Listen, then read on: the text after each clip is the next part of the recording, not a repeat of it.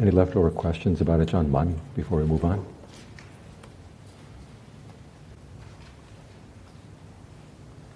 Okay, we'll move on. In 1927, a law was passed in Thailand requiring that all monks become grade school and high school teachers. Ajahn Mun left the northeast and went into northern Thailand, which was further away from Bangkok power. It was during this period that Ajahn Lee studied with him. First, right before Ajahn Mun left, and then again, uh, Ajahn Lee followed him up to Chiang Mai. Ajahn Mun was staying in Chiang Mai in the year 1932. Word came that I mentioned to you that senior monk in Bangkok, who was an old childhood friend of his, passed away. And together with a word coming out from Bangkok that that monk had passed away, were two other letters for Ajahn Mun. One was a letter giving him an ecclesiastical title, and the other making him abbot of the monastery where he was staying in, in Chiang Mai. He left the next day, went further into the forest. Turned out that the, the monk who was the friend in the high places had a student who pretty much took over that monk's um, responsibilities in the Northeast. This monk was very much opposed to the forest tradition. He said, with these good-for-nothing monks not settling down, teaching school like they ought to, became quite a problem for the forest tradition. Ajahn Mun did not return to the Northeast until, I said, early 1940s. He stayed on there until he died in 1949. It was at that point when the, the forest tradition, many of the monks in the forest tradition felt that they had lost all their protection. They didn't have friends in high places in Bangkok. They didn't have Ajahn Mun to speak up for them. And it was at this point where Ajaan Lee started moving into Bangkok. He had been a student, as I said, with Ajahn Mun since the early 1920s, late 1920s. Um, of Ajahn Mun's students, he was probably the most systematic in his writings. Instead of just giving Dharma talks, he also actually sat down and wrote books explaining the Dharma. Many of his books, you've got books back there, Basic Themes, Craft of the Heart, they read a little dry. And what the reason behind that was because this was a period, as I said, when new textbooks were coming out from Bangkok. And the textbooks, especially on Dharma, tend to read like laundry lists. You know, they're the five this, and the seven that, and the eight this, and the nine that, without much explanation. And Ajaan Lee was going back and sort of taking those lists and filling them in with explanations based on the experiences of the forest monks. So it has kind of a dry form, but there's a lot of stuff from his practice and Ajahn Mun's practice, and Ajahn Mun's style of teaching in these books and the way they explain various concepts. Some of the points that he would make were very similar to Ajahn Mun's, that there's not that clear distinction between virtue, concentration, and discernment. Um, the active role of the mind. You see this not only in specific things that he says, but also the way he organizes his books. And this is what I think really sets Ajahn Lee apart in the tradition. He has extremely organized mind. And the way he would organize a book would be to make points. Like in, in he has a book describing the Eightfold Path, and he ends with a discussion of virtue, concentration, and discernment. And in the discussion of each of those three topics, he brings in the other two to make the point that you know, they're really not that clearly, clearly demarcated his book on the establishing of mindfulness, which I translated as frames of reference. He does divide the book into the you know, four different frames of reference body, feelings, mind, mental, mental qualities. But the theme that runs throughout the book is the three qualities you bring to the practice ardency, alertness, and mindfulness. Those, that's the main theme of the book. And he develops that all the way through. We'll talk, and we'll go into that a little bit more in detail in a minute. But when you want to, want to understand Ajahn Lee, you have to look at not only what he has to say, but also how he organizes his thoughts. Because that can tell you a lot about some of the messages you're trying to get across. Now, Ajaan Lee was, did not sit for the exams. He, he did not learn Pali. He was something of an autodidact. This was during a time when it, it's hard for us to believe this, but in Thailand it had Buddhism for many hundreds of years. It wasn't until 1956 that they had a Thai version of the canon printed with all translations. They started working on that in the late 1920s. It took them until 1956 to finish it. While they were working on that, they came out with a little magazine called the Dhammajaksu, or Dharma Eye, in which translations of sutras were being, as they were being done, they were being printed and sent out to the country. Now, Ajahn Fuang was staying with Ajaan Lee at this time. He said they'd receive their monthly edition and sometimes during the evening sit, which for them was from 6 p.m. to 10 p.m. or sometime to midnight. Ajaan Lee would pull out the latest issue of Dhammachaksa and just read it to them. And so they were getting a lot of the latest translations of the sutras coming in. What's interesting is that um, even though Ajaan Lee did a lot of work on the topic of breath meditation, there is no place where he discusses the Anapanasati Sutta, you know, the 16 steps. Um, I always like to wonder what it would have been like if he had had access to that, how he would have explained the 16 steps. However, in addition to his organized mind and his attempts at learning more about the suttas, extremely strong powers of concentration and was reputed to have all kinds of psychic powers. Back towards the end of his life, as Ajahn Fuang said, there was only one power he didn't have and he couldn't levitate. he had everything else. He could make other people levitate. Um, watch out. Once you start talking about Ajaan Lee, it's hard not to get into the psychic powers because they're so much fun. Um, with levity, yes. Well, that's a lot of the, my favorite stories are the ones that are levitous, I guess you call them. I don't know. Um, Ajahn Fuang told the story about one time when he was with Ajahn Lee in Ayutthaya. This is the old capital of Thailand, and they had at point, that point the old palace was just in ruins, and it hadn't been developed into the national park that it is now. It's just kind of an old place out and out and abandoned. And they had these large trees. They're called putsa in Thai. It's kind of like a small apple about yay big. And the trees have these Im- immense spreading branches that go off in all directions. And the group of the monks had gone, and usually when monks would go out on a trip like that, they'd take a couple of little kids along who would help, you know, fix the rice and do other chores for the monks. And so they had this one kid named Manun, who was about 11, 12 years old. So one night they're going to sit and meditate, and Ajaan Lee says, okay, we're going to make you levitate. And Ajahn Fuang said to himself, it's not us who's going to make him levitate. You're going to make him levitate. So the monks sat in a circle and had Manun sitting in the middle. And they hung a rope down from the branch. And he said, no, if you find yourself rising up to the ground and it scares you, just hang on to the rope so you don't fall. They're sitting and meditating. Sure enough, he was you know, three or four feet off the ground before he realized what was happening. And when he realized what was happening, he was so scared he forgot about the rope and just fell down. And as Ajahn Fuang said, he couldn't sit down for the next couple of days after that. Um, there's another story that Ajahn Fuang didn't tell me, but it does concern him. I heard it through someone who had learned it from Ajahn Maha Boowa, that apparently Ajahn Fuang had told him. Um, another night, again, it was the same sort of situation. The monks were sitting in a circle. And John Fu noticed that first the monk next to Ajaan Lee was rising up off the ground, coming back down. Then the next monk, off the ground, back down, kind of around the circle. And Ajahn Fuang was over here. He said, okay, I'm not going to let him lift me. and so the monk next to him was going up, down. And he was sitting there. So he is, as he said, he thought of himself being rooted down in the ground, like his spine just went down in the ground, deep, deep, deep, and he thought of earth element. He felt this force coming up from underneath. moved him around a little bit, but nope, nope, nope. And it stopped. And then the monk next to him, up, down. And at the end of the sit, and Ajahn Lee turned to and said, Stubborn?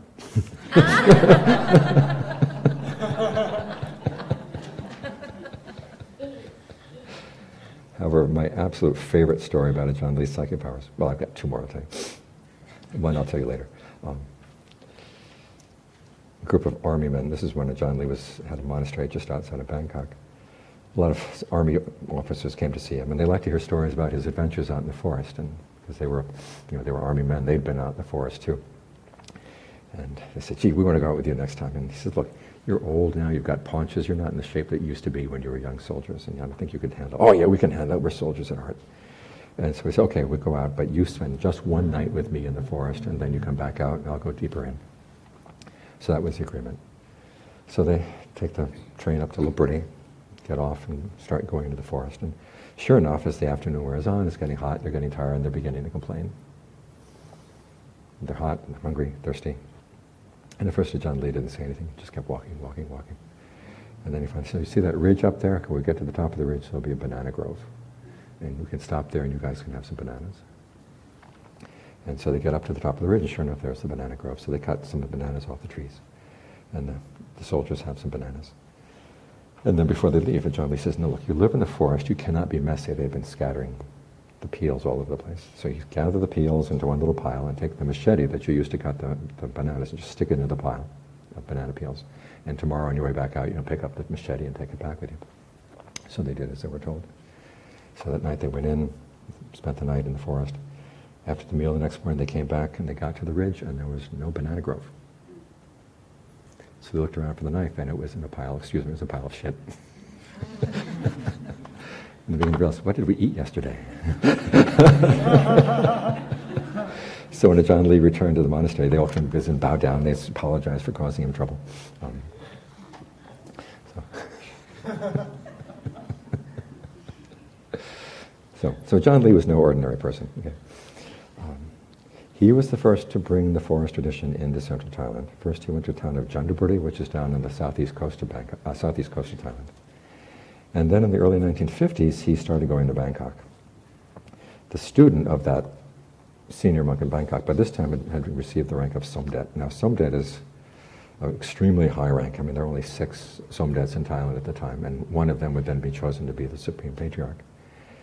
And he happened to be sick at the time. And so Ajaan Lee went and visited him and just sat in one corner of the room and just started spreading concentration power at the guy. And the monk said, What are you doing? And Ajaan Lee said, I'm making a gift of stillness. And the old monk said, Well, whatever it is, keep it up. It feels good. so every day John, Ajaan Lee would go in, he'd sit in the corner. And, and as the old monk began to recover, they started talking about Dharma. Ajaan Lee started giving him instructions in meditation and basically converted the guy into a supporter of the forest tradition. Then Ajaan Lee was invited to stay on in Bangkok and to teach. Um, now, this, as I said, this was at a time when, by this time, a lot of those monks who had been devoting their lives to becoming teachers had been replaced in the schools by lay teachers who were, had been had gone through you know, regular teacher training. And they're kind of finding themselves without a role in life. Still, though, they stuck to a lot of the old orthodoxy that had been taught by the Bangkok hierarchy, including the idea that jhana was impossible and nirvana was impossible in our day and age. It was Ajaan Lee's duty, basically, to convince him otherwise. Um, one of his ways of doing this, he had a number of lay people coming to study and meditate with him. In the particular monastery where he was, including this one woman whose job at the monastery was to clean the bathrooms. She would come and sit with him and meditate. And she got so that she could read people's minds you know, whether it's under her own power or Ajaan Lee's reflected power or what, I don't know. So who does she, whose minds does she read? She reads the minds of the monks in the monastery. And then goes to report to the abbot. Say, do you know what these monks are thinking? this one is planning to take over after you die, and this one, I don't know about his, his precepts, and just went down the line. Um, and so the abbot called the monks and said, you guys got to watch out. These people know you inside and out. Um, so put a little fear of the Dharma into the monks of Bangkok. Eventually, Ajaan Lee was given a piece of land outside of, outside of Bangkok. He developed it into a monastery and then in 1961 passed away. Um, what he left behind, as I said, was probably the most organized set of teachings that you get from the forest tradition in, in his books. Some of the basic themes that he discussed, again, as, with Ajaan Mun, he saw the, the heart, mind, and in almost every Buddhist culture, they don't make a, sh- a sharp distinction between heart and mind. They usually tend to use the same word, or they use the two words interchangeably. This is the, it's primarily an active factor. We'll see this in the passage from Frames of Reference that we'll talk about in, when we get to the, the readings, where he talks about the mind flowing out to its objects. Um, and then your greed flows out to look for something to get greedy about. Anger goes flowing out to look for something to get angry about probably one of the most dominant metaphors that Ajaan Lee used in his teaching was that the practice is a skill, and you develop it through trial and error. Um, discernment is not just a matter of learning about things, but you actually take that knowledge and you put it into practice to become more and more skillful. In the process of working on your skill, you gain more discernment. Um, and you see this both in his treatment of, of mindfulness practice and in his treatment of uh, concentration practice. Common theme in a lot of his Dharma talks. He says, learning how to meditate is learning like how to sew a pair of pants, learning how to weave a basket, learning how to make clay tiles, learning how to make things out of silver. You take the object and you do different things with it, and in the course of doing different things with it, you learn about the object. The object teaches you a skill, if you're observant. Learn how to read what you're doing, read the results of what you're, get, uh, you're getting from your actions. Another one of his metaphors that he'd like to use repeatedly is virtue as a metaphor for the concentrated mind. We'll have two passages on, on that. One which he takes the various hindrances and shows how each of the hindrance, hindrances corresponds to an action which is basically forbidden by the precepts. So you take the five, five precepts and you internalize them as you practice concentration. Like Ajahn Mun, he did not make a sharp distinction, be, distinction between mindfulness practice and concentration practice. You see this particularly in his treatment of mindfulness, in that when he gets to mental qualities, or the dhammas as the last, the last of the, four, the, the fourth uh, frame of reference, he talks quite a bit about jhana as being what you do as you're trying to develop sensitivity to mental qualities. In his discussion of Satipatthana, as I said, his emphasis is on the three qualities you bring to each of the frames of reference ardency, alertness, mindfulness. Uh, mindfulness and this, this fits in with the canon. And mindfulness in Thai is translated as a which is actually a, a quality of the memory. It's what you bring to mind as you're doing something in the present moment. So it's not just bare awareness of the present or full awareness of the present. It's actually bringing something that you've remembered from the past that you apply to what you're doing in the present moment. That's what mindfulness is. You look in the canon, the Buddha defines mindfulness as a faculty of memory. The second quality, ardency, excuse me, alertness, is when you're actually watching what you're doing and looking at the results you're getting. And finally, ardency is putting your whole heart into trying to do it skillfully. What's interesting in Ajaan Lee's analysis of these three qualities, ardency, alertness, and mindfulness, of the three, ardency is his, you know, he describes ardency as the discernment factor in mindfulness practice. In most other traditions, you'll see the alertness part is usually translated as full comprehension or clear comprehension. And that's the, that's the discernment faculty. But for Ajaan Lee, it's your effort to do it skillfully. That's, that's the discernment. In other words, you realize that once you've learned about the Dharma, the wise part of you says, I've got to put this into practice. And I'm going to learn more about it by putting it into practice. That's where the wisdom comes in. And again, this is connected to this business of trial and error. You try out various things in your practice and learn from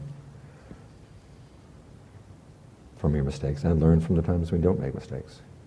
This connects to a teaching that's mentioned once in the canon. It's called three levels of discernment. There's discernment that comes from listening, discernment that comes from thinking, and then discernment that comes from development. Um, the word bhavana can also mean meditation in the course of you're trying to develop certain qualities in mind, and the discernment that comes from the activity of trying to develop them sharpens and heightens your discernment.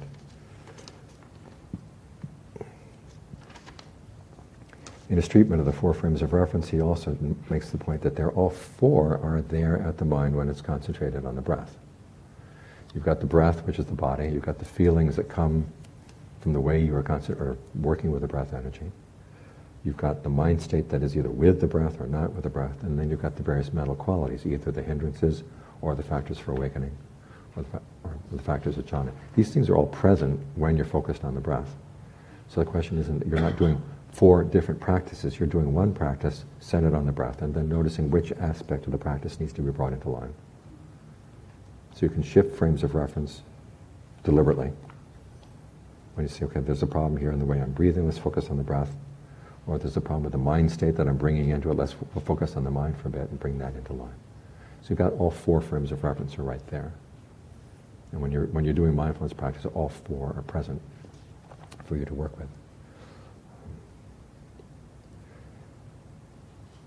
One of Ajaan Lee's most distinctive teachings is his treatment of breath meditation. This is a, t- the particular techniques that became associated with his name were developed after Ajahn Mun passed away. Ajaan Lee took, a, took two trips to India, one in the 1930s, another in 1950. And in 1950, he went and actually spent quite a while there. And one of the questions that occurred to him was, you know, you see these yogis sitting all day under the sun, standing on one leg, lying on beds of nails. How do they do that? And being Ajaan Lee, he didn't go up and ask them. he went into meditation, asked the question in his meditation. And the answer that came out was they're playing with the breath energy. And so we said, okay, they're using it for that purpose. Can we use the breath energy for other purposes? And so we started working with breath energies in, in his meditation. Came back to Thailand and wrote um, this method one in keeping the breath in mind. Several years after that, he went and spent a rains retreat deep in the jungle north of Chiang Mai. And as he tells the story, he, the spot where he went to, he had to walk three days through the jungle to get there. As soon as he arrived, the rains retreat began. And within a few days, he had a heart attack. Because here he is, you know, that many days away from any kind of medical treatment. What is he going to do? He started using the breath energies in his body. Worked that out. And uh, after the three months were over, he was able to walk back out. And uh, came back and wrote down method two, which is the method that he taught from that point on. As he worked with breath energies, he also um, formulated the ways in which working with the breath is related to the practice of jhana. And this is the first description in the forest tradition that really goes into detail in the, in the jhanas. And Ajaan Mun would mention them, he would talk about them, but there's nothing written down until Ajaan Lee worked on this. Um, probably the most original contribution that Ajaan Lee made to the descriptions of jhana are one, in the case of getting into the first jhana, he divided, you know, there are five factors of jhana. Directed thought, evaluation, singleness of preoccupation, rapture, and ease. He listed the first three as the causal factors of the jhana. You, these are the things you do. You get, you direct your thought to the, to the topic. You evaluate it. Like in the case of the breath, you, is the breath comfortable? Is the breath not comfortable? Once it's comfortable, what do you do with that sense of comfort to get the most out of it? You spread it through the body. You allow it to spread. And that, that's important. I, I learned that from the hard way. You allow it to spread. you don't force it through. And then as you get more and more absorbed in doing this, the mind comes to its singleness of preoccupation. And the result will be the, uh, the rapture, which is, a, it can't be anything from a sense of fullness to your hair standing on end, sort of more gentler or more um, St. Teresa-like manifestations. Um, and so that was his first really interesting, you know, the original contribution to the analysis of jhana. And the second was the evaluation is the discernment factor in getting the mind into concentration. That you're actually trying to analyze what's working, what's not working. This relates directly to the practice is what he had taught about ardency. You're ardent about doing it well. And, and you see some descriptions of jhana when they talk about evaluation as being this kind of unfortunate, wobbly nature of the mind. And Ajaan Lee says, look, it's really necessary. If you're going to work, get to settle down in the body, you've got to work through, basically it's kind of like cleaning off your bed sheet. If you've got bugs and dirt and everything on your bed sheet, you don't want to lie down. You clean it off first. You got everything kind of straightened out inside. Then the mind can settle down and really be solidly with the object. And so if you really want to settle down in your body, have a full body awareness and have a sense of being ease, have a sense of ease being there, you've got to work through the breath energy disturbances kind of get them straightened out. As for his teachings on discernment, um,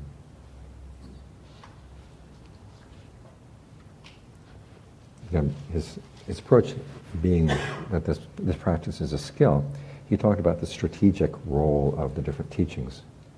First is that there's the teaching on becoming. Now, becoming bhava is part of the Buddha's analysis of suffering and the cause of suffering. And wherever any craving that leads to bhava or becoming is going to be a craving that leads to suffering.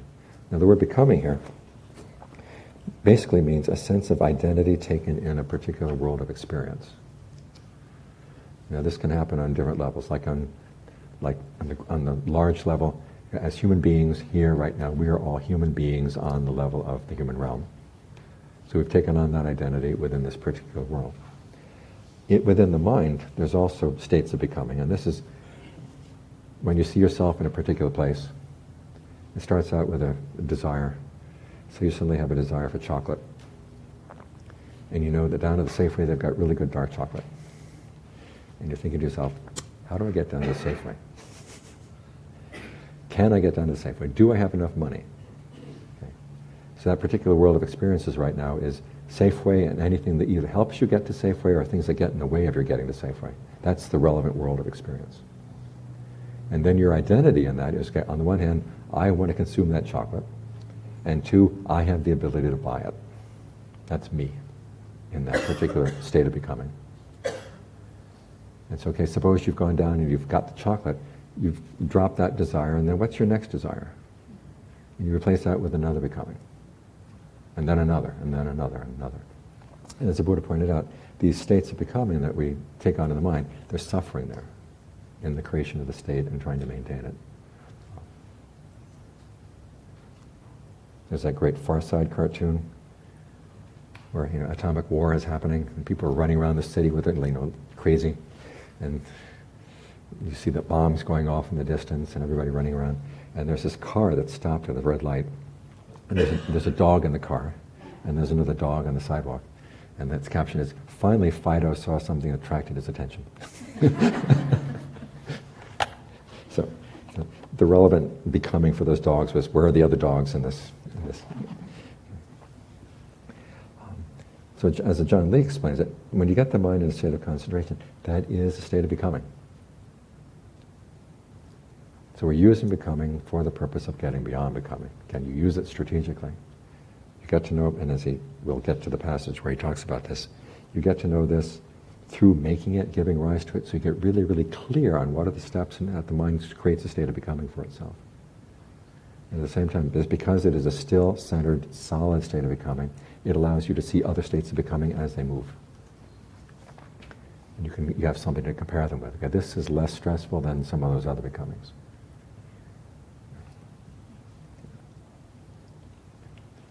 That's one of his teachings on discernment. The other one is his way of dealing with the three characteristics. He talks about the practice of concentration as fighting against the three characteristics of inconstancy, stress, and not self. In other words, you try to create a state of mind that is constant, easeful, and under your control. And it's by pushing against those three characteristics you, you realize how far you can push and how far they start pushing back. So you don't just give up and say, okay, everything is inconstant, stressful, not self. What next? So let's push against it. Make the mind still. Make the mind easeful. Try to get this under your control. He says in the, in the course of that, you will have a sense of when you when you see both sides, okay, how far you can push against these things. Ultimately, you're going to let, let go of both sides. But first, you've got to push against them. Also, he has very, very clear teaching on um, the difference between no self and not self. I stole all my good ideas from Ajaan Lee.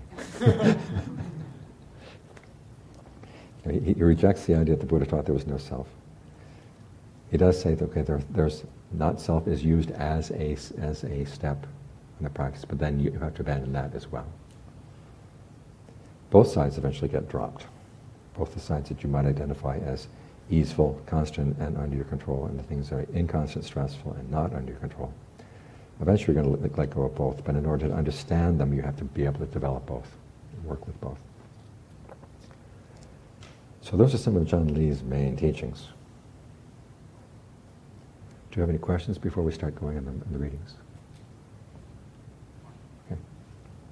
So was it easeful, calm, or constant? Easeful, constant, and under your control. Okay. Because when the Buddha is talking about self and not self, it's an issue of control. He says, you know, if you can't control something, how can you claim it to be, your, to be yourself? So in this case, you're getting the mind more and more under your control. See how far you can push it. If they didn't have any, they didn't, didn't have the canon, even in Thai, mm-hmm. and they didn't know Pali. What did, what did they do? Was it just an oral tradition of, there was an oral the tradition ideas? people would translate of the sutras themselves. Right. Uh, oral. And what they did have was, but they did, they have translated, you know, they have, they had books on, you know, giving the various chants that were done, which included quite a few of the sutras. And those, some of those will be translated. So they have, you know, some of the basic, the basic teachings were translated, but just the whole canon as one entire set of books, was not available in Thai. the, the Digha reciters and the Majjhima reciters and the things like that. You know, I hear of people in Burma who've memorized large chunks of the canon, but I've never heard of that in Thailand recently.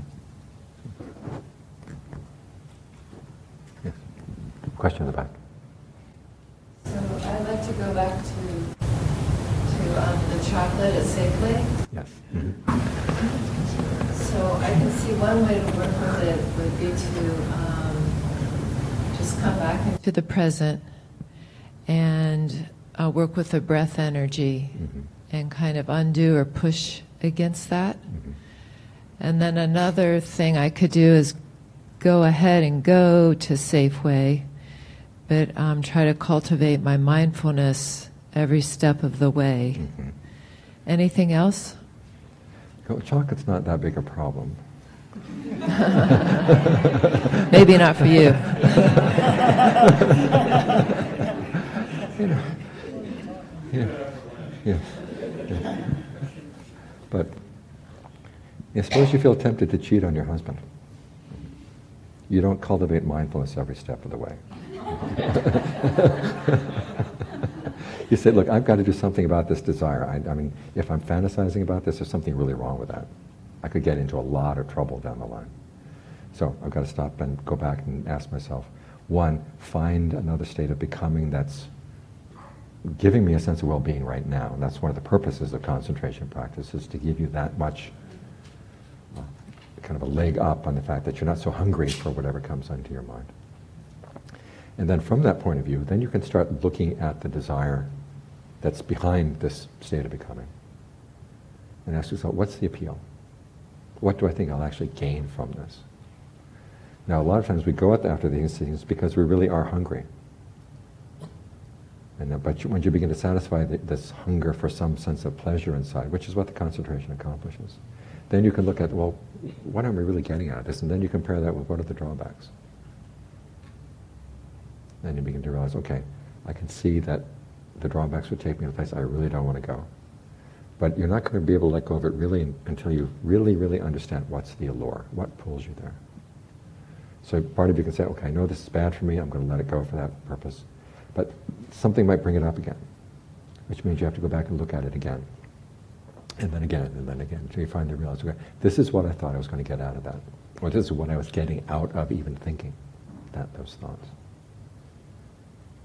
And the second thing is, as I pointed out, there's, there's two sides to the you in this world of experience. There's the side that wants to consume that pleasure, and there's the side, the side that feels, I have the power to produce it.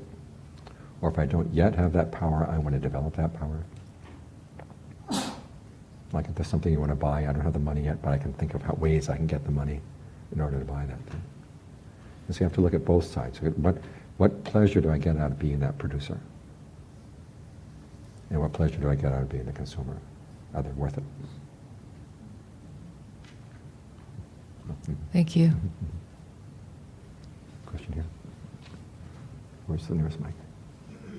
So you're you were talking about um, Ajahn Lee and uh, clearing out disturbances in the body, in the, the breath energies.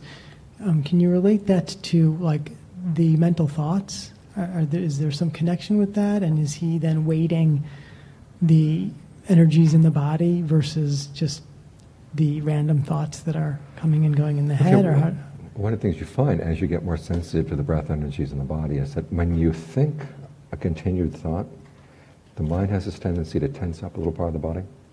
That's kind of a marker, so you can keep that thought in mind. And if you want to put the thought out of mind, you just release that.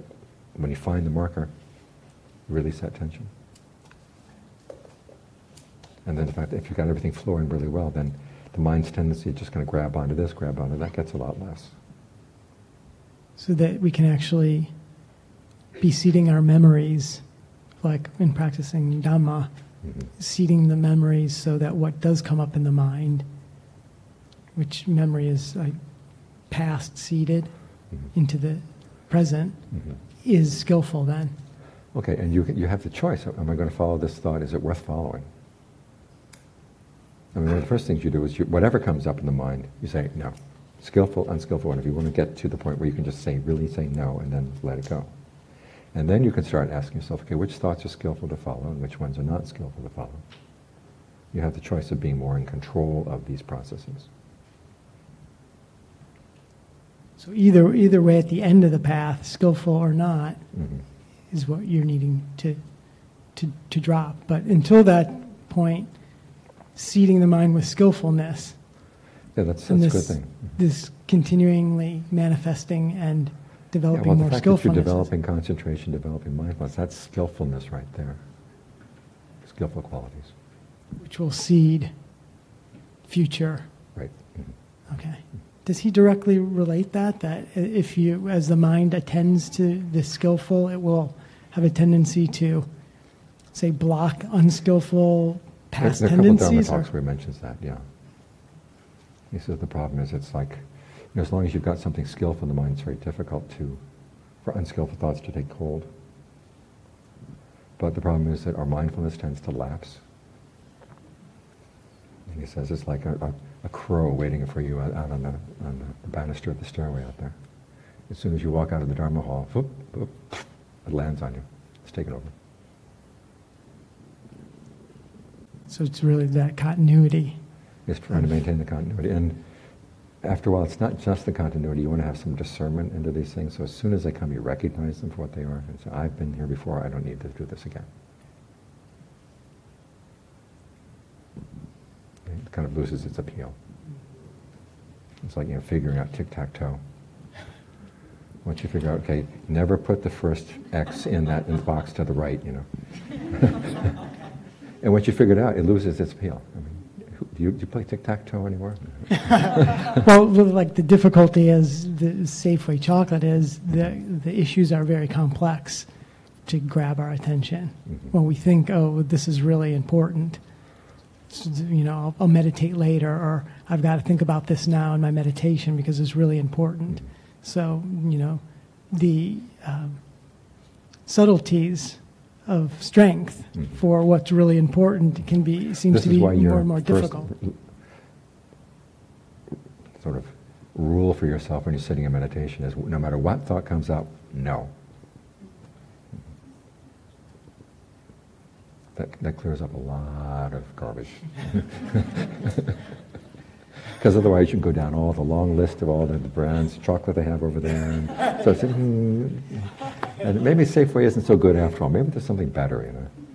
You know, down in the, the, the chocolate soldier down in Laguna Beach, they really got good chocolate. Maybe you should go down there. you know. Okay. So ultimately, Ajahn Lee, I think, is saying that the pleasantness, and I think your teachings, the pleasantness of the breath will really supersede. It gives you a better Most- vantage point. And it's not a guarantee. I mean, you can still lose your concentration, or you can still be nicely concentrated. And there's this part of the mind that says, "Why can't I have them both? I want the concentration and the chocolate." You know.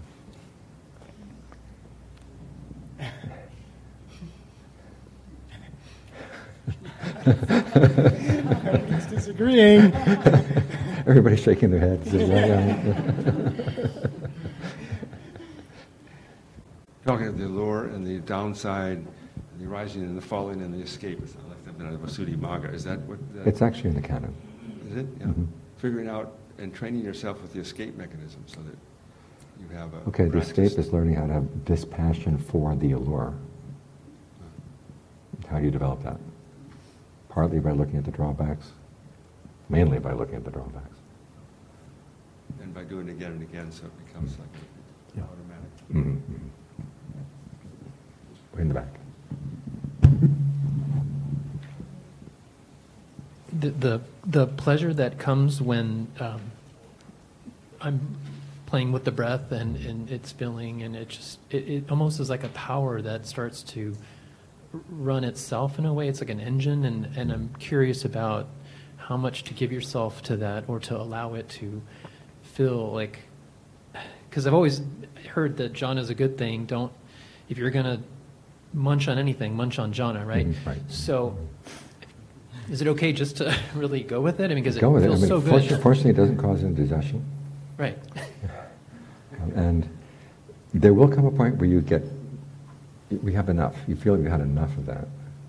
Now, you know, if you've been have a busy work week and, and, and you feel you really need the recharging, just go for it. And there'll come a point where the mind says, you know, I've really had enough of this. This is beginning to feel gross. I'd like something more refined. And that's when you go into, you know, you can kind of figure out, okay, what would a more refined state of stillness be where I'm not getting all this energy churning up all the time? And then it's kind of, it's kind of like tuning your radio into a different frequency or flying below the radar. Those are the two analogies that come to my mind. So how do, how do you how does it tone? How do you get to that that that? How do you allow that next refined state, like without? Because I don't want to push away the the energy. It's it's No, nice. just, you, it, you're, I said it's a nice energy, but there comes a point where you feel you've had enough. You allow that to be there, but you say, I can bring my mind to a more refined level. And this is why I say it's like tuning into a different radio station. I mean, just think of all the different radio waves going through the air right here. You know, you've got the rock channel from you know, where, wherever, Oakland, and you've got the classical music channel, and you've got the easy listening channel, and all, all these other things. And they're all going through the air here at the same time. And the question is, which one are you going to tune into? And it's not like you have to block out the other frequencies. It's just that you say, well, here's another more refined frequency. You go there.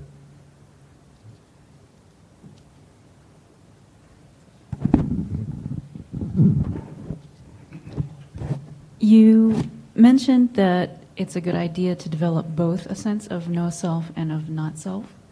No, not self and self. Oh. No self is not helpful. Oh, okay. Although not self kind of can lead to a conclusion of no self, But which is never- the Buddha never experientially difficult to Right. differentiate. Well, it's the difference is if you come up with the position there is no self, you get yourself tied up in all kinds of problems. If there is no self, why do you bother to practice? Yeah. Um, or if you say, I don't want to define what myself is, but I do want to develop a sense, a healthy sense of self, until I don't need it anymore. And this would get, this would be in line with what the have in the canon, which is that you know you need to have, take yourself as your own mainstay. You need to love yourself, and, and, and they call it taking the self as a governing principle. You need a certain sense of belief in yourself that you can do this. All these are healthy senses of self. Okay, so if we've had a weird experience of not self, Or because no self. I'm well, okay, it was yeah. maybe my mind was interpreting it as Yeah. not self, of course. Mhm. But do you just trust that there is a self, but you're just not understanding what it is yet? Well, ultimately, you get to the point where you don't care about that issue. the whole point is, the Buddha says, he teaches selfing almost as if it's a verb.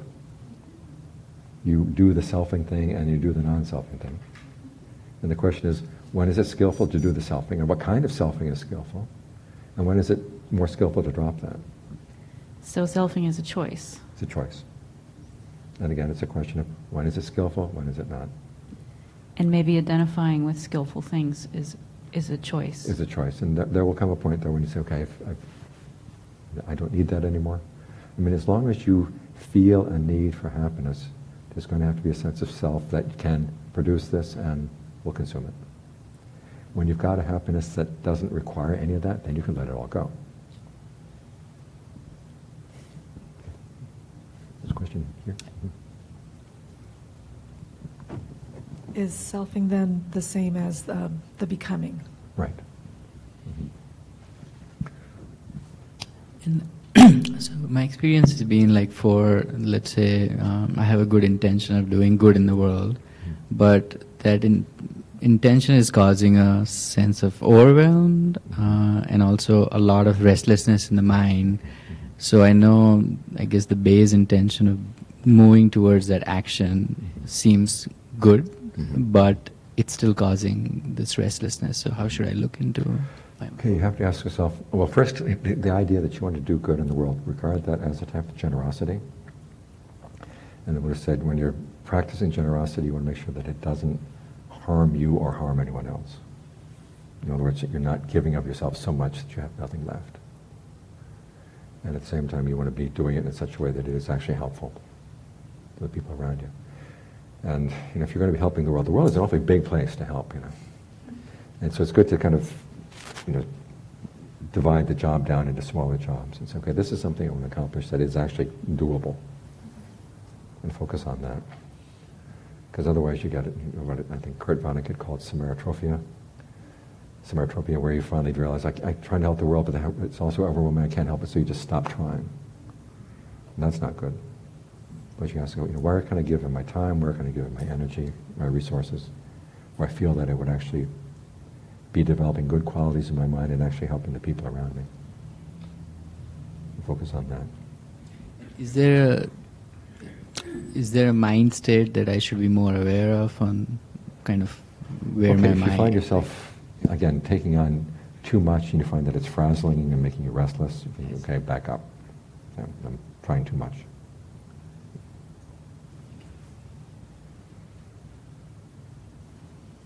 Okay, let's look at Ajaan Lee.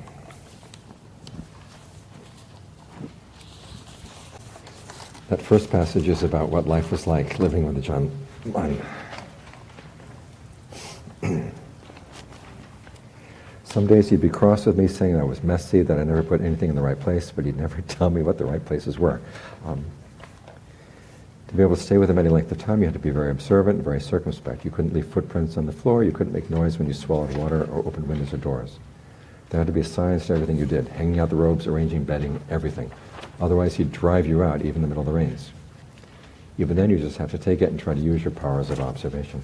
This word of using your powers of observation, um, when I was staying with Ajahn Fuang, that was probably the word he used more than anything else in his meditation instructions. Basically, instructions on being alert.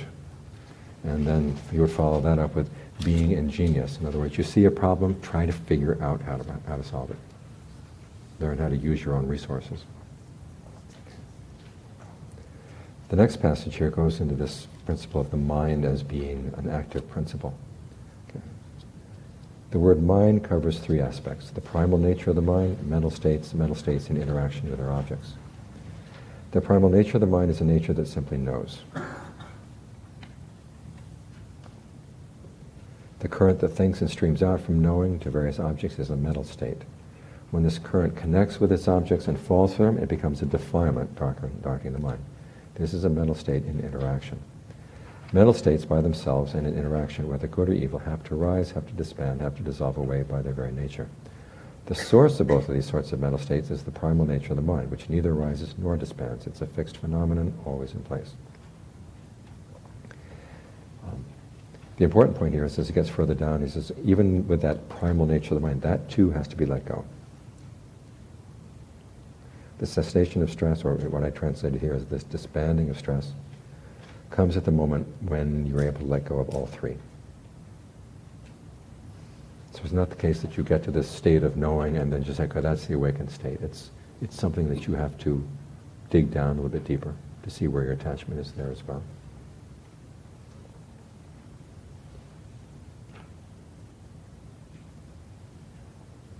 Any questions on that point?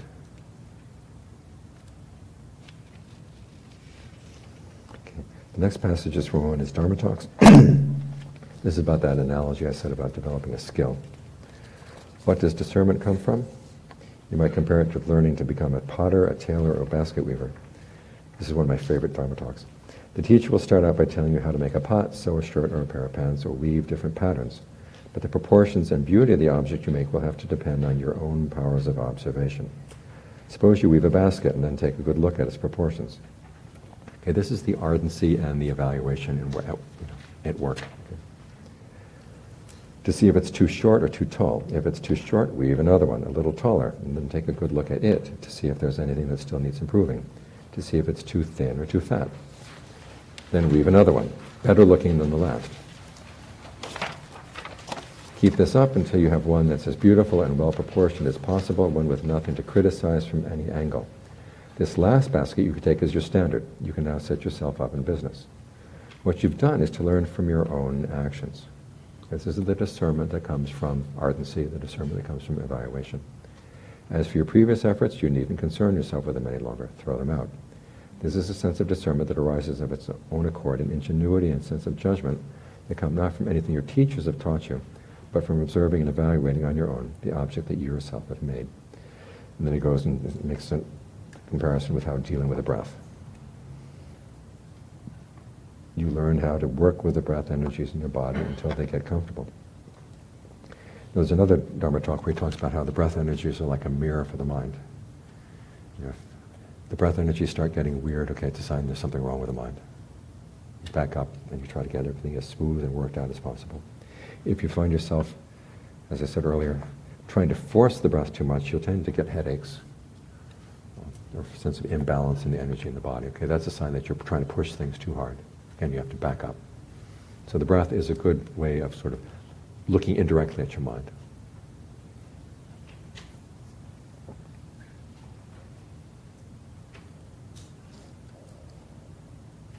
The purpose of all this is to get a very clear sense of what's the cause and what's the effect in the meditation.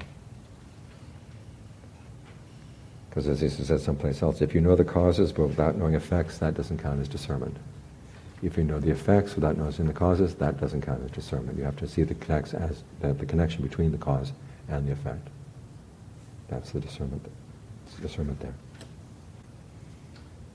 The next two passages deal with that analogy I talked about, where it compares the precepts to what you're trying to accomplish in developing concentration. In the first paragraph, in the first passage, he draws parallels between the five precepts and the five hindrances. Ill will lies at the essence of killing, for it causes us to destroy our own goodness and that of others. And when our mind can kill off its, our own goodness, what's to keep us from killing other people and animals as well? Restlessness lies at the essence of taking what isn't given. This is one of my favorite ones. The mind wanders about taking hold of other people's affairs. Sometimes they're good points, sometimes they're bad.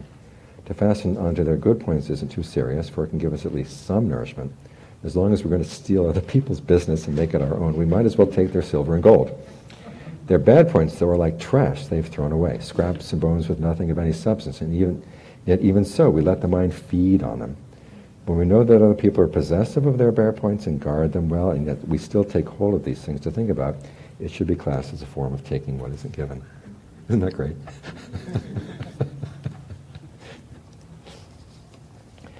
Sensual desires lie at the essence of sensual misconduct. The mind feels attraction for sensual objects, thoughts of past or future, sight, sound, smells, taste, tactile sensations, or for sensual defilements, passion, aversion, delusion, to the point where we forget ourselves. Mental states such as these can be said to overstep the bounds of propriety in sensual matters. Doubt lies at the essence of lying. Interesting comparison. In other words, our minds are unsure with nothing reliable or true to them. We have no firm principles and so drift along under the influence of all kinds of thoughts and preoccupations. Drowsiness is intoxication, discouragement, dullness, forgetfulness with no mindfulness or restraint watching over the mind. This is what it means to be drugged or drunk. So what he's doing here is showing that there's a, there's a continuum. The practice of the precepts leads into the practice of concentration, and there are parallels that carry through. And you basically take the principles that you apply the skills that you've learned in observing the precepts and you bring those into your concentration practice, your concentration practice is bound, bound to go much better. The following passage takes that same theme and works it out in more detail.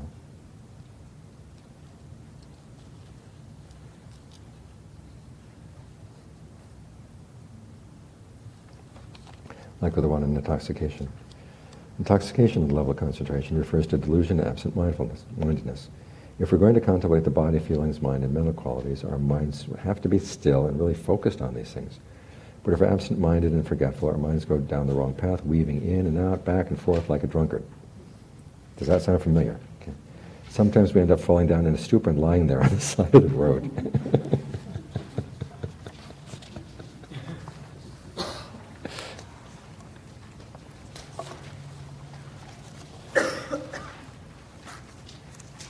Ajaan Lee apparently every now and then at, the monastery they would have all-night sits, and on every hour they would have a different monk get up and give a Dharma talk. And it was up to the monk whether he wanted to talk for the whole hour or just for part of the hour, but just kind of keep things going through the night. And Ajaan Lee would always take the 3 a.m. shift, because that's the one where most people were getting really, really sleepy. And he would give some of his more entertaining Dharma talks. If you want to read a really entertaining Dharma talk, read the one on consciousnesses. It's in the book um, Inner Strength, where he talks about how you think you're the only consciousness in your body.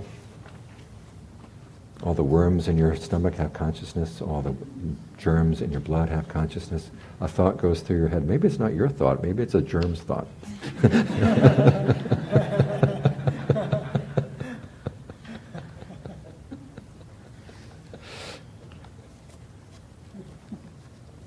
Think about it, Ajaan, Ajaan Lee had, he had a great sense of humor, but according to Ajahn Fuang, it was very hard for anyone to get Ajaan Lee to laugh.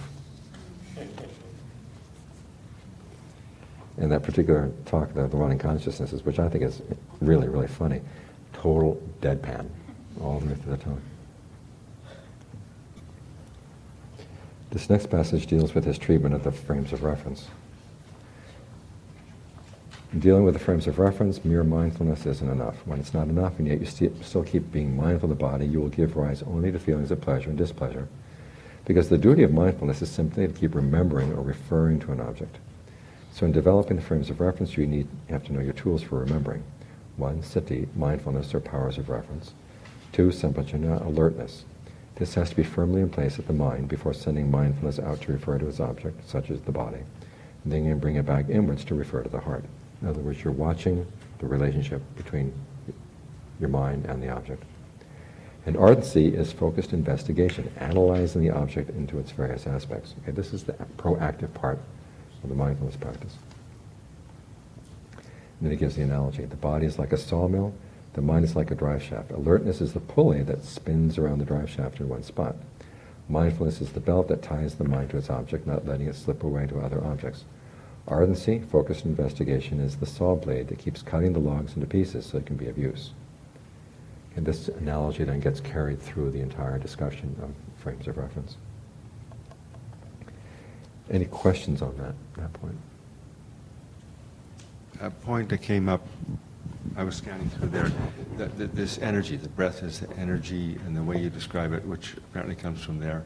And at one point he even says the breath and the blood, the qi and the shui. That's straight out of Chinese medicine and going out through the fingertips and the three bony cavities. And uh, it was a relationship between Thailand and Chinese traditions. I mean, they in Thai medicine they do talk about breath energy in the body. Um, they don't have it quite as elaborate, you know, tradition as the Chinese do, and how the qi should be moving in your body. So a lot about Ajaan Lee. Know, when he was when you read method two, and you notice he has you start at the back of the neck and work down from there. And you know, people who have serious heart conditions, you know, have ten, have a lot of tension in the back of the neck. That's the place you start to relax things in the body. You read some of his later talks, instead of having the breath energy go down, he has the breath energy coming up the back of the spine.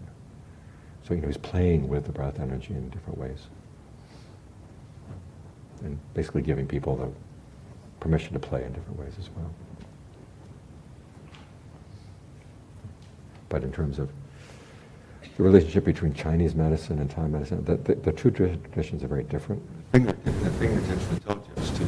Yeah. That's an extremely important treatment. Yeah. modality. Nerve endings. Most Thai medicine tends to trace its roots back to India as opposed to China. You know, in India, of course, they talk about the prana. And they, they talk about prana in, in India. But as I said, the Thai tradition of medicine, you go to a Thai doctor and you'll see a statue of Jivaka, who was the Buddhist doctor. We're talking about traditional doctors. And there's a strong sense that Thai medicine is related to Indian medicine. Uh, whether that's true or not, I don't know, because what I know about Indian medicine, they, use, they do things pretty differently. Like with Thai medicine, they say, okay, if there's a disease in your body, we're going to flush it out all right now. Uh, it tends to be a lot more drastic, say, than Chinese medicine. Oh, that's, that's the school of Tapping first. Mm-hmm. Just retired general, Mm-hmm. 12th century. Bhavana, Get it out, yeah. Questions? Yes, in the back. Hello. I just I wanted to make a, a comment um, where you made that joke about having a worm's thought, and I Yes. was just wondering if you if you knew that mo- most of the or if that was based on the science, that most of the, the cells in your body are actually microbes. And there's research going into how those microbes affect your mental states. So it's all actually quite Yeah. a scientific concept. Mhm. Okay, thank you.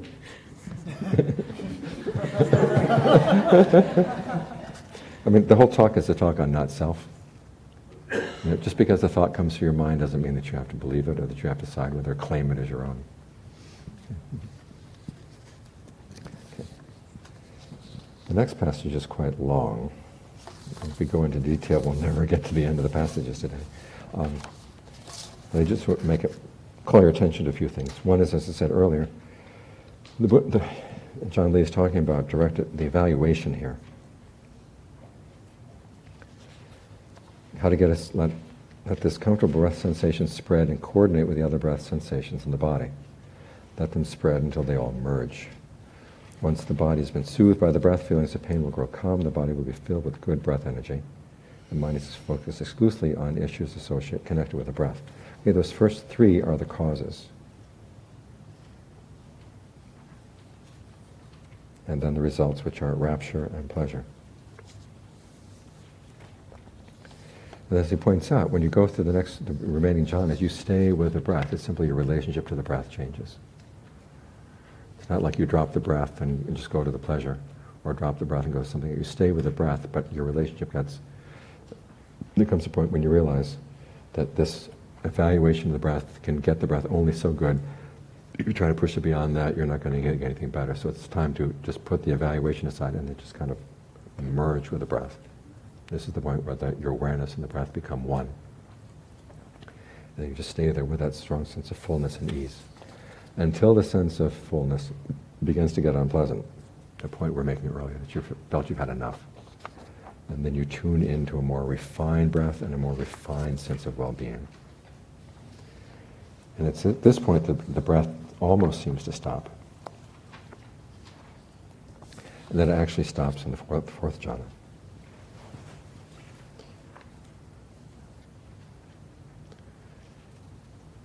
Then in the following passage he goes on to say, when you give rise to directed thought and evaluation, you have both concentration and discernment. Directed thought and singleness of preoccupation fall under the heading of concentration, evaluation under the heading of discernment. And that in turn connects to the next passage where he's talking about how insight and tranquility have to go together. Any questions on any of those? Any of those points? Is there, is there in, the, in this jhana system an idea of a very definite shift of absorption? Like what I think you translated fixed penetration from Mhm. Ajahn. Is there that idea? Or do you just kind of float, you're not quite sure you're in jhana yet? You've got, well, it's, you can't, it, it doesn't have a signpost that says now entering jhana, population one, elevation eight miles high. No. you know that you're in a state of, it's, the first time you get into it, it it's a very gentle entering. But you, you come out and realize, boy, that was really concentrated. And what you do is you put a post-it note on it. Uh, Say, okay, this seems like something interesting. Let's see if I can pursue it. And you do have to try pursue it as a skill. And that means learning how to basically relate to the fact that you have a goal and learn how to approach the goal skillfully. Because sometimes you hear, well, you can't make it happen, so you just have to kind of sit there and wait for it to happen. Or you just have to, and there, there is a sense of you can. allowing, but you do learn how to direct it. You know, if I put the mind in this in this situation, I develop these qualities, it will tend to go. There's these, people argue about it, but there's, and there's a phrase in the, in the standard formula which is, uh, forget the Pali, it's enter and abide in. Mhm. That implies a definite change of enter and there abide are in. quantum steps, Uh-huh. and you realize, okay, this was deeper than that. And sometimes you can realize, okay, it changed because I dropped that particular activity in the mind. Or like we were talking earlier about, you've had enough of the rapture, you've got to tune into something more refined. And the only really objective factor that can tell you you've reached any of the jhanas is when your breath really stops. And you can stay there long periods of time. Okay, that's fourth. And there's, there's not, there's no mental chatter going, just you're very present, very still. And there's a sense of, you know, still breath energy filling the body. And you get there not by forcing the breath to stop or trying to stop it, but just by connecting all the breath channels in the body. So everything is so well connected that wherever there's a need for breath energy in the body, it goes from wherever there may be an excess without you having to think about it. It's like opening all the highways of San Francisco, totally removing all the cars. That means your car can go anywhere it wants. you know. So there are stages now, but to get to know the stages, when you start, you, you kind of stumble into these things the first time that happens. But then after you come in and out, in and out, in and out, after all, you begin to recognize, oh, this is the landmark for this, this is what I do to get into that one. It's just like the Visuddhimagga. Now, the Visuddhimagga, you have no, no concept of the world outside. With the Ajaan Lee, you can still know. I mean, there's, there, there's still sounds coming from outside, but you're not paying any attention to them. But the, the skill of, of the, uh, looking at the first one, what's different, giving up this That's as you're developing more and more discernment around it. absorption, you come out and you reflect on it, have a positive absorption thing, and Hmm. aim in a different direction. That's, I mean, it's just a. I mean, in both cases, you're working on a skill. And this is how you work on a skill. You just do it again and again. You just learn how to observe what you're doing. Do you, uh, do you think uh, M111 is genuine? 111. S- Sariputta's. Oh, Sariputta's ability to analyze ability, things. Yeah. Um, Sariputta was special. Uh-huh. That's all I can say. People think that as a case of, of mixing in later ideas with early Buddhist teaching. I mean, it's useful to know that you can, in a state of, con- it's, it's like putting your hand into a glove. You can either be fully in the glove, you can be totally out of the glove, or you can be halfway in. And one of the skills that Ajahn Fuang talked about, which he said he got from Ajaan Lee, was this ability to lift your mind a little bit out of the concentration so you can observe it, but without pulling out entirely. And that requires a lot of skill. Because for most of us, either we're in or we're out. Yeah, that's so- something like you're, you're in, in that state, but you can actually stand up, Mhm. be right there, go back in. You can go back in. or you Yeah. Oh, here's new questioner. Yes. I think I'm a little confused with the uh, um, the breath energy. You said Mhm. make the breath en- energy into one, hmm because uh, all I know is the breath is going through my nose and through my lungs and Mhm. going up. Mhm. Nothing from my feet or Mhm. hands. Or, Okay, well, when they're talking about breath energy, breath as air is one thing. Breath energy as your, sense of, if you close your eyes, you know you have your body here. There's a sense of kind of a presence there. That presence is breath in this. oh, Yeah. okay. And so the question is, is there a sense of flow in that presence, or does it feel tense or tight or see. imbalanced? Got it. Thank Okay. you. Mhm, mhm. Yes. It should be a green light. I was wondering about the relationship between, where if there is a relationship between the primal nature of the mind and the nirvana. Okay, the primal nature of the mind is something that you would attain before. It's, it, it is something different. Because nirvana is not connected with anything. Nothing flows out of nirvana. With this primal nature, it's, it's got the seeds for the flowing out. So there's still some defilements embedded in that primal nature. Okay. Pass the mic over here. I appreciate how um, easy you and Ajahn Lee make jhana seem. I've been you. accused of teaching jhana light. Um, so can you um, can you describe some of the um, the problems or the um, some of the blocks or the difficulties people will have in either getting to these jhanas or once they're in these jhanas and what the problems will be either like advancing in the next levels or coming in and out of these Um, the main problem is greed, aversion, and delusion. um, having trouble mastering a skill and having the right attitude toward the skill as you're working with it. Either pushing too hard and then getting discouraged, not pushing enough. Learning to focus your energies on, let's get the causes right and having faith that the results will come, instead of focusing all your desire on the results. Number one. Um, some people, as their minds begin to settle down, have visions very quickly, and that actually gets in the way of getting into deeper concentration. I mean, it's fun for a while, but then it, it's, you don't, if you don't let go of that, you can't get deeper. Now, this was a problem I noticed more in Thailand than I do here. Um, I think maybe a cultural thing. I don't know. Um, problems. Getting into a state of concentration and having a feeling that your body is out of balance, like really stiff or too lightheaded, or too hot or too cold. And this is where analyzing things in terms of the properties is useful. You say, okay, if it feels too hot, I'm maybe subconsciously focusing on the heat element. What can I do? I focus on the water element to balance it out.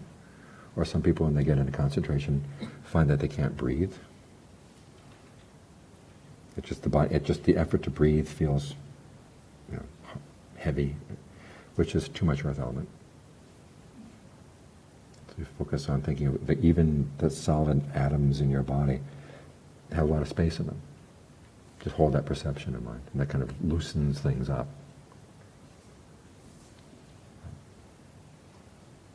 So, so at this point, um, working with the uh, the elements Mhm. becomes really important Mhm. to be able to switch and balance out things. And so they, so you're you're always working with just a um, a quieting and refinement and refining of mind at these states. You're refining the mind, and you are also trying to get a sense of okay, when I do something, when something happens, what did I just do?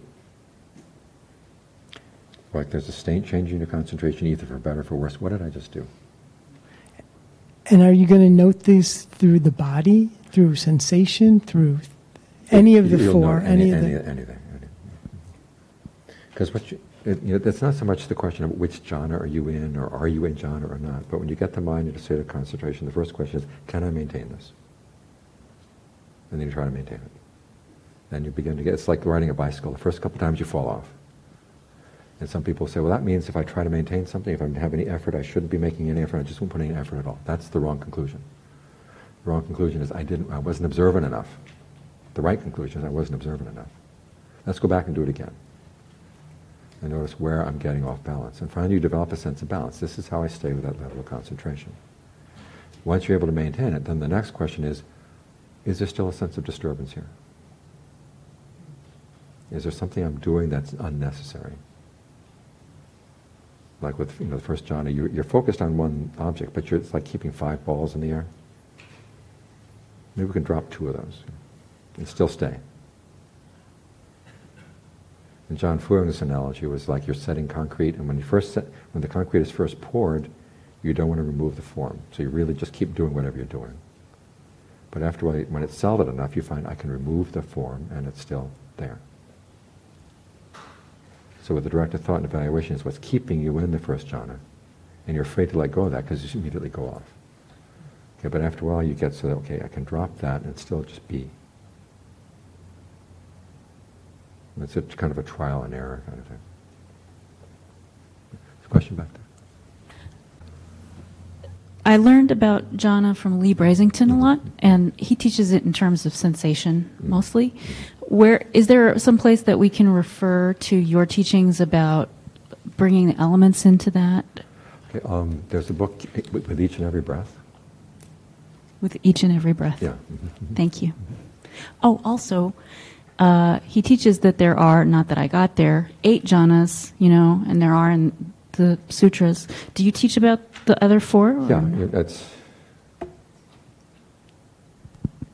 You got the you got the four jhanas and the, what I call the the four formless states, which you know basically they come off of the fourth jhana. Because up up to the fourth jhana, you basically from the first to the fourth, you're with one object. It's just your relationship to the object changes, and then from the remaining ones, your object changes. From space, you know, from from the sense of having the form of the body to the space in and around the body to the awareness of that space, and sort of backing off in those ways. The focus changes. Uh, Actually, it's the perception that's holding you there changes. about the um, the primal mind, right? Uh, is that that uh, after the parinirvana, the, the nirvana become the object of your mind, and it just stay with the The mind doesn't have an object at that point. So, uh, and I heard some explanation of uh, nirvana is is just an uh, is the object of the mind. That's why I would It's, clarify a, it's that. an object as you're approaching it, but when you get into it, there's no object. Then not awareness.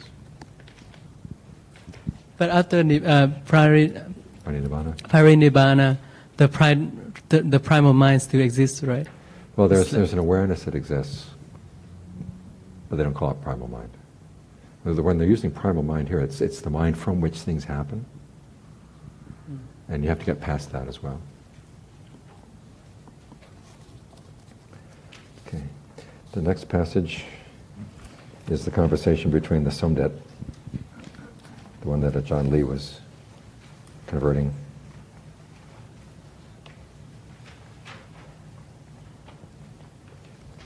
Where he talks about getting the mind into concentration as being a form of becoming. First full paragraph on page 9. As I see it, I said, most students of the Dharma really misconstrue things. Whatever comes springing up, they try to cut it down and wipe it out. To me, this seems wrong. It's like people who eat eggs. Some people don't know what a chicken is like. This is ignorance.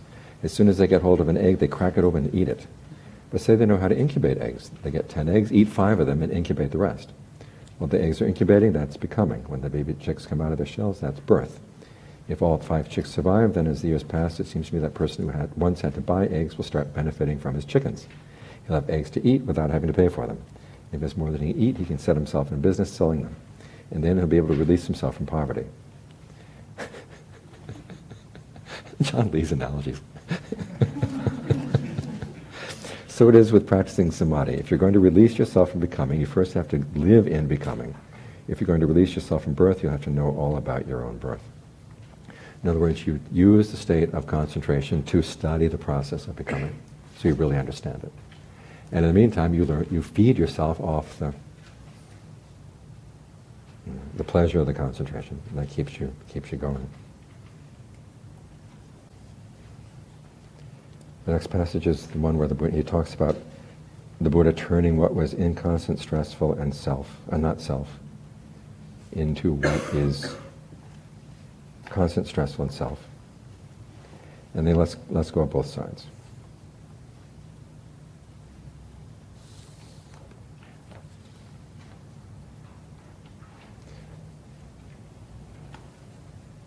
And then he go, in the following passage, he takes up the same themes. And he says, it lets go of the assumptions, and this is the word supposing again, that say that that's a self, that's not self, that's constant, that's inconstant, that arises, that doesn't arise. In fact, it lets go of, this is the point where letting go of the discernment that's gotten you that far. You can let go of these things completely, that's the Dhamma, and yet it doesn't hold on to the Dhamma, which is why we said that the Dhamma is not self. In other words, uh, once you get to that point of full realization, even the perception that all things are not self, that passes away. It lets go of views, causes, and effects, and isn't attached to anything at all dealing with wordings or meanings, suppositions, or practices. This is release. He goes on to talk about how when you get to nirvana, you don't even need right view. Roads are built for people to walk on, but dogs and cats can walk on them as well. Sane people and crazy people will use the roads. They didn't build the roads for crazy people, but crazy people have every right to use them. Don't you wish you knew Ajaan Lee? As for the precepts, even fools and idiots can observe them. The same with concentration. Crazy or sane, they can come and sit. In discernment, we all have the right to come and talk our heads off, but it's simply a question of being right or wrong. None of the valuables of the mundane world give any real pleasure. They're nothing but stress. They're good as far as the world is concerned, but Nibbana doesn't have any need for them. Right views and wrong views are an affair of the world. Nibbana doesn't have any right views or wrong views. For this reason, whatever is a wrong view, we should abandon. Whatever is a right view, we should develop until the day it can fall from our grasp. That is probably the most elegant statement of the path. I know. That's when we can be at our ease.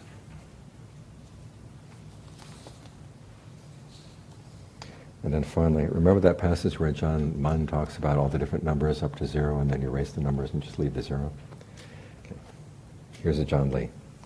To purify the heart, we have to disentangle our attachments to self, to the body, to mental phenomena, and to all objects that come passing in through the senses. Keep the mind intent on concentration. Keep it one at all times. Don't let it become two, three, four, five, etc. Because once you've made the mind one, it's easy to make it zero. Simply cut off the little head and pull the two ends together.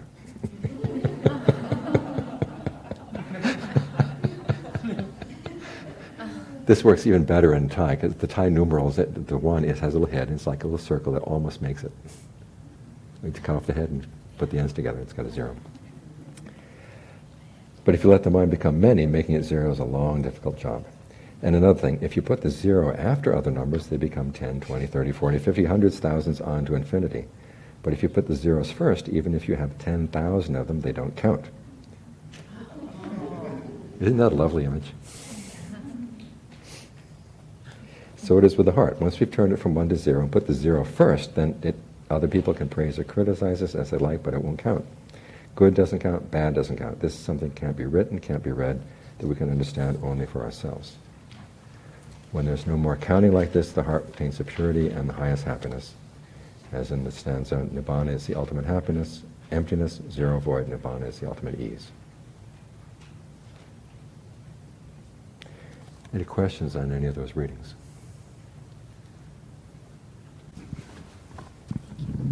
So, as you were talking about um, the jhanas, all I could think about was, but we don't crave it, we don't grasp it, we just practice the breath, Mm-hmm.